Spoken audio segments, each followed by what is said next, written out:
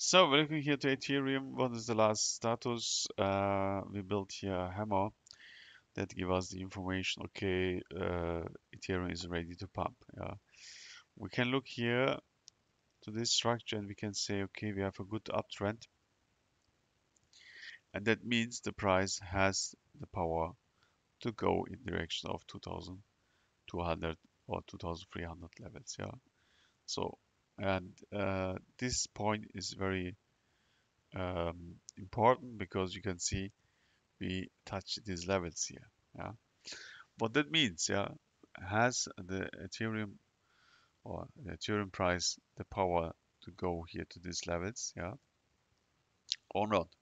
Or if we get a really uh, good dump to the downside in direction of 500 yeah so these are key informations in which we can find out in the memberships.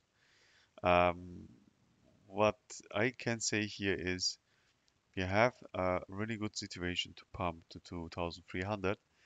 Then we have to look um, how far the price can go more.